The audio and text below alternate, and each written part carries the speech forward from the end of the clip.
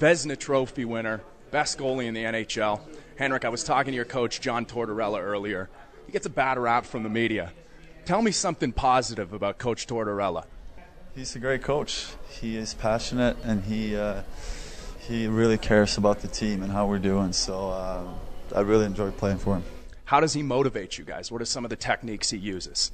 No, just that he cares so much and he's uh, you know you can see he's passionate just the way he talks to you and and and uh, the time he spends to you know try to get us better.